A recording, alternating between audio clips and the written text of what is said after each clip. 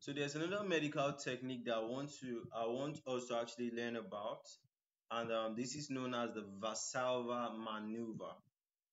All right, Valsalva maneuver. So in, talk, in learning about the Valsalva maneuver, of course, we have pictures that will show you guys how to um, learn uh, know how to do it. The next, we'll be talking about the uses of the technique, we're talking about the procedure, talking about the physiological effect and what diagnostic uses. So uh, the technique for doing this, like ways for doing this is actually what is different, different though. All right, but you guys you get to see the two ways that you can be able to use and do a Valsalva maneuver. All right, so you can see this one. They say that you pinch your nose, then you close your mouth, then like breathe out forcefully. All right. So this one, if you are doing this type of Valsalva maneuver, you are trying to prevent palpitations, right? But Valsalva maneuver also has another way of doing it and, and other differences, okay? So let's look at the uses. Uh, if you are doing the Valsalva maneuver, you are trying to diagnose a heart condition or you are trying to treat what arrhythmias and you are also trying to what access the cardiac function of the person.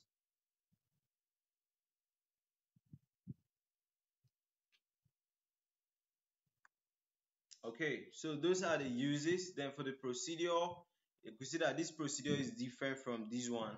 Okay, so here they say that the patient will sit down or lie down, they will take a deep breath, then they will exhale forcefully through a closed mouth and nostrils. Okay, it's basically the same thing. Okay, about but this one is the person is standing up. Why this one the person is sitting or lying? Okay, now they'll they'll exhale forcefully through the nose and that deep breath will take you for about 10 to 15 seconds. All right okay. Or maybe they will continue for 10 to 15 seconds. Then they'll eh, okay they'll maintain the pressure okay between 40 to 60 milligrams mercury okay? So here we have it that you take a breath and close your mouth.